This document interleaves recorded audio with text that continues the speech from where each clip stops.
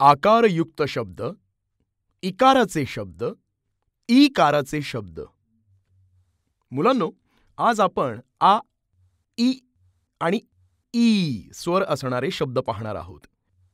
आपण सुरुवात करूया आ स्वराने. सुरुवातीस आपण आ पासून सुरू होणारे शब्द पाहूया. आ आरसा. आ आवळा. आ आठ. आता हा आ ज्या शब्दांमध्ये लपला आहे असे शब्द ऐका.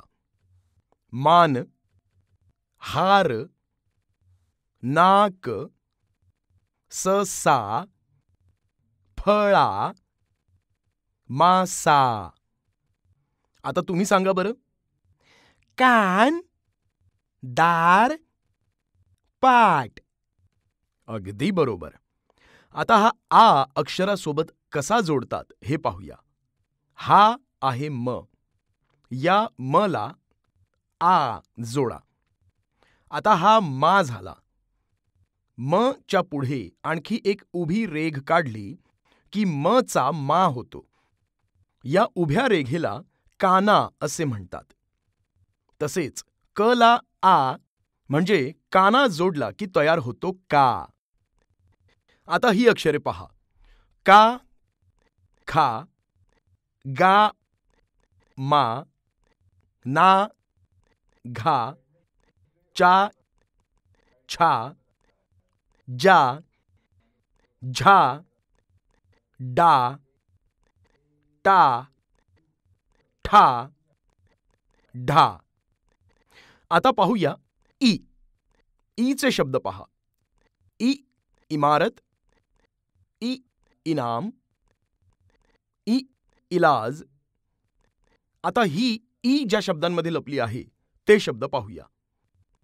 दिवा खिळा किडा कविता गणित.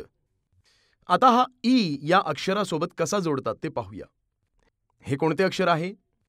सर हा ख आहे. बरोबर. आता या ख ला मी ई जोडतो. हा झाला खी.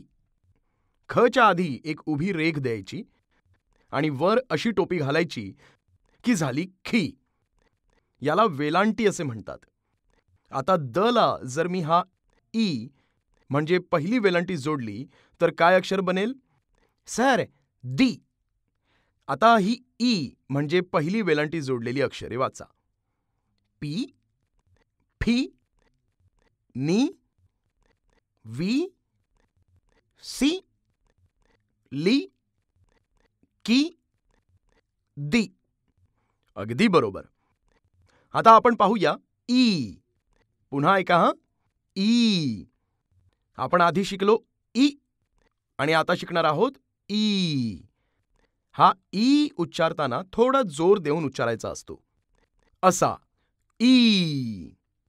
आता तुम्ही बोला ई. बरोबर. आता ई पासूनचे शब्द पहा. ई, ईद, ई, इड लिंबू, ई, आई। आता हा ई उच्चार कोणत्या शब्दांमध्ये लपला आहे ते शब्द पाहूया. खीर, तीळ, मीठ, बहीण, काकडी, भाजी, काकी, मामी। आता ही ई अक्षरासोबत कशी जोडतात ते पाहूया. हे कोणते अक्षर आहे? सर भ आहे हा. अगदी बरोबर. या भ ला मी ई जोडतो. आणि हा तयार झाला भी. भच्या पुढे एक उभी रेघ द्यायची आणि वर टोपी घालायची की झाली भी. याला दुसरी वेलांटी म्हणतात. आता पुढील अक्षरे तुम्ही सांगा. त ला ई जोडली तर काय होईल? ती. बरोबर. आणि ह ला ई जोडली तर काय अक्षर तयार होईल? ही. बरोबर. आता मी फळ्यावर काही अक्षरे लिहेन ती तुम्ही वाचायची आहेत. कोण वाचणार आहे? अभय तू वाच बरं. की. की. डी डी ची ची नी नी शाब्बास अभय. तुम्हाला गोष्ट आवडते का? हो सर. आज मी तुम्हाला राजा विक्रम आणि वेताळाची गोष्ट दाखविणार आहे. ती नीट ऐका आणि पहा. गोष्ट. राजन आता तुला मी एक गोष्ट सांगतो. ती नीट ऐक आणि तू मध्येच काही बोललास तर मात्र मी उडून जाईन. एक राजा होता. त्याची सुंदर राजकन्या होती. एके दिवशी ती बागेत फिरताना एका दुष्ट जादूगारणीने तिला बेशुद्ध केले. राज्यातील सर्व वैद्य थकले पण ती काही शुद्धीवर येईना. मग दुसऱ्या राज्यातील एक वैद्य आला त्याने राजकुमारीला बरे करण्याचे आश्वासन दिले. परंतु त्याकरिता त्याने काही कोडी घातली. ती अशी होती. एक. एक असे फळ जे बाहेरून टणक असते आणि त्याच्या आतमध्ये गोड पाणी असते. दोन. इंद्रधनुष्याचे रंग किती? तीन. एक असा सोसाट्याचा वारा ज्याने फक्त नासधूस होते. चार. एक असा प्राणी जो पाण्यातही राहतो आणि जमिनीवरही राहतो. तो खूप सावकाश चालतो. पाच.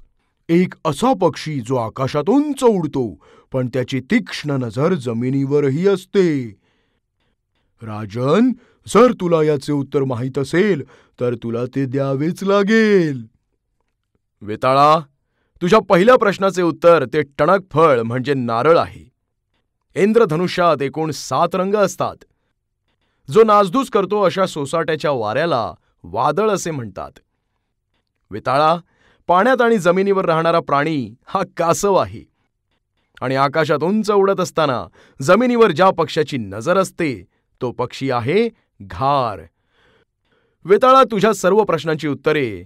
म्हणजे नारळ सात वादळ कासव घार ही आहेत. राजन तू तर सर्व उत्तरे अचूक सांगितलीयस पण तू बोललास आता मी चाललो.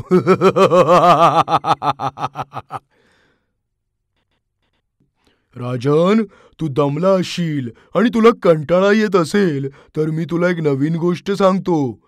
नीट ऐक. एक राजपुत्र होता. तो जंगलात शिकारीला गेला होता. तो शिकार करत असताना एक साधू आला आणि त्या साधूने राजपुत्राला अडवले राजपुत्राला राग आला. त्याने साधूचा अपमान केला. साधूलाही राग आला आणि तो राजपुत्राला म्हणाला तू दगडाची मूर्ती होशील. राजपुत्राला पश्चाताप झाला. त्याने साधूचे पाय धरले. साधू महाराज मला क्षमा करा.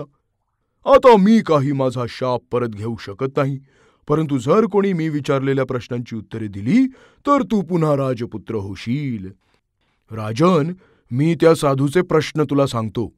प्रश्न पहिला यामुळे पदार्थांना चव येते आणि ते समुद्रात सापडते. प्रश्न दुसरा ज्याला चव कळते असा शरीरातील छोटासा अवयव कोणता? प्रश्न तिसरा. सरस्वतीला आवडणारे वाद्य कोणते? प्रश्न चौथा. ज्यावर बर्फ पडतो असा पर्वत कोणता? प्रश्न पाचवा. राजपुत्र जंगलात कशासाठी गेला होता? आणि प्रश्न सहावा. मुंग्यांमध्ये कोणता महत्त्वाचा गुण असतो? राजन? तुला जर यांची उत्तरे माहीत असतील तर तुला बोलावेच लागेल. वेताळा मीठ हे सर्व पदार्थांना चव आणते. जीभ हा छोटासाच अवयव ज्यामुळे आपल्याला चव कळते. सरस्वतीला वीणा हे वाद्य खूप आवडते. हिमालय पर्वतावर बर्फ पडतो. राजपुत्र जंगलात शिकारीसाठी गेला होता. मुंग्या या लहान असल्या तरी त्यांच्यामध्ये चिकाटी हा गुण असतो. त्या सतत काम करत असतात. वेताळा मीठ जीभ वीणा हिमालय शिकार आणि चिकाटी ही त्या साधूच्या प्रश्नांची उत्तरे आहेत.